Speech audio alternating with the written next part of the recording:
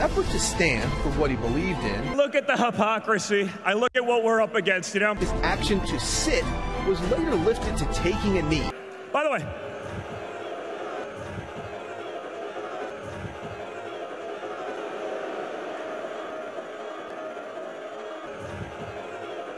He always says, make America great again. Well, America's never been great for people of color. it's because people hijack it with nonsense. You saw those comments you made about the gas chamber. I was talking about media bias. You and your family have hurt a lot of people and put a lot of people through a lot of pain. No, that's something that needs to be addressed. Let's make America great for the first time. In response to Nike's controversial new ad featuring Colin Kaepernick, the president's son, Donald Trump Jr., replicated the ad, except his father's face was placed under the message. Colin Kaepernick, the exiled former quarterback, has been a target of the right wing since he first took a knee. Well, actually, not since he first took a knee, rather, since they weaponized his movement, like Donald Trump Jr.'s ridiculous and unfounded attacks, like this you're seeing right here on number seven. Akin to the President of the United States, Donald Trump Jr. is desperate for attention. An awkward public speaker, Jr. was fed with a golden spoon throughout his childhood, but hated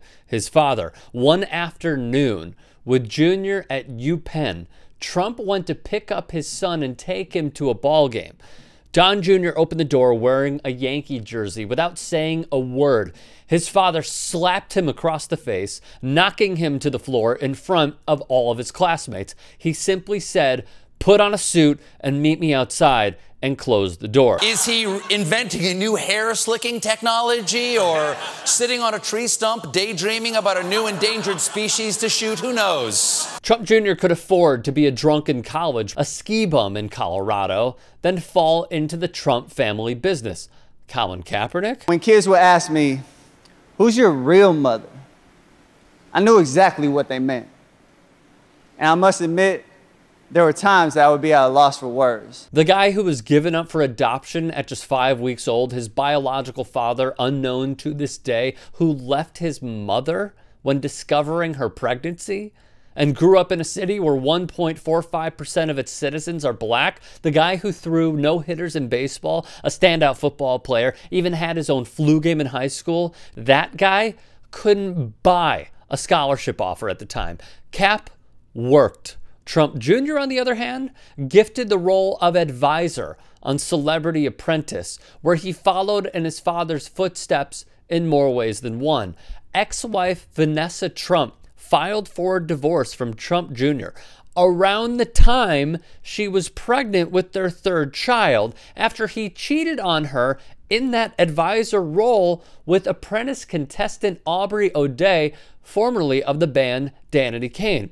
Colin Kaepernick was told he could only play safety at the University of Nevada, where he would finally earn a scholarship. He was given one shot when quarterback Nick Graziano went off the field injured against Fresno State. Kap triumphed with a 384 yard, four touchdown performance. While Jr. was getting wasted with his arm in a sling from falling over plastered, Colin Kaepernick witnessed firsthand the disenfranchisement in the college setting. He would get the racist treatment from white people because he was a black quarterback, and some people gave him the racist treatment because he was raised by a white family. So, where does he fit in all this? Recalled one teammate. Trump Jr., while enrolled at Wharton, had a reputation for getting into drunken, do you have any idea who I am fights, per the New Yorker. While in college, when hearing of an older woman's husband's death, saying she could no longer afford Nevada football tickets, Colin Kaepernick, whose family had 24 season tickets, asked if he could buy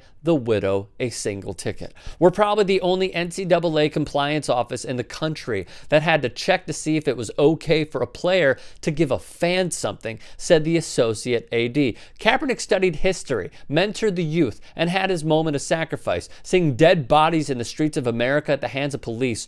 Those whose job titles are to protect and serve, instead protecting their own status quo. Donald Trump Jr. is wanting to meet and exceed those expectations that his father had regarding women, explains Dr. Michael Brustein, a New York based psychologist. Jr. wants to follow in his father's footsteps. Colin Kaepernick wants to follow in Martin Luther King, Malcolm X, Harriet Tubman, Rosa Parks, Charles Hamilton Houston, John Lewis, Tommie Smith, and John Carlos.